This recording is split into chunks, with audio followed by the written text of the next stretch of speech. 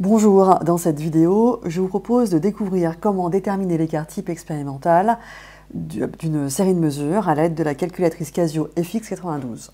Voici les valeurs que nous allons utiliser dans ce tutoriel. Il s'agit de différentes mesures d'une même distance focale, notée f' et exprimée en centimètres.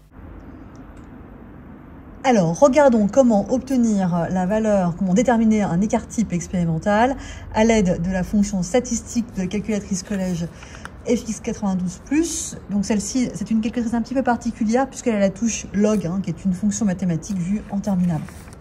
Alors, première étape, eh bien, on va déjà l'allumer. Et puis, on va aller dans Menu. Une fois qu'on sommes dans Menu, vous avez vu qu'il y a plein, plein de fonctions possibles. Eh bien, on va prendre la deuxième, qui s'appelle tout simplement Statistique on valide avec la touche exécuter.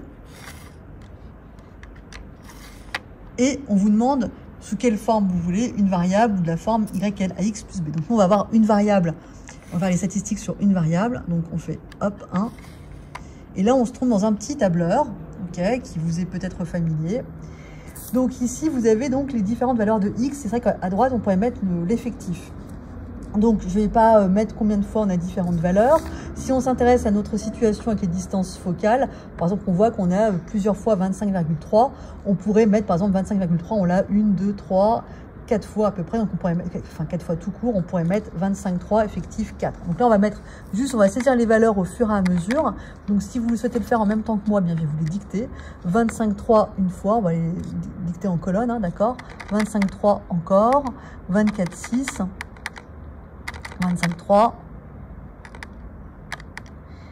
24,4, 24,2, 24,4, 24,6, 25, 24,6, 24,3, 24,8, 25,1, 25,3 et 25,7.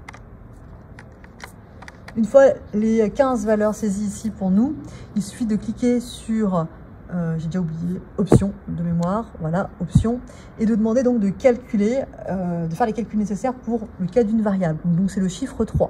Et là, en cliquant dessus, vous avez un menu qui s'ouvre. Alors, la valeur du dessus, qui s'intitule euh, sigma x, c'est euh, la somme de toutes les valeurs. Pardon, c'est la valeur moyenne, excusez-moi. Donc euh, avec le, x bar, pardon, n'importe quoi. x bar, c'est la valeur moyenne, d'accord Ici 24,86. Euh, donc c'est la valeur moyenne de toutes nos valeurs trouvées. Ensuite, vous avez différentes informations, d'accord Donc là, je vous le montre ici. Donc X bar, c'est la valeur de la valeur moyenne. Et puis ensuite, on va faire défiler un petit peu les différentes valeurs parce que pour celle-ci n'a aucune qui nous intéresse ici. Et grâce à la flèche, on peut descendre. Et là, on poursuit le menu déroulant. Et on a euh, un élément qui s'appelle SX, pardon. C'est ça, l'écart type expérimental qu'on va utiliser pour en déduire l'incertitude sur nos mesures. Vous retrouvez petit n le nombre de valeurs, 15. Je vous rappelle que l'incertitude euh, type, hein, c'est votre écart type expérimental, SX sur racine carrée de n. Donc sur la Casio, vous ferez donc 0, 45, 79, etc. sur racine carrée de n. Voilà. J'espère que cette vidéo vous a été utile et je vous dis à bientôt.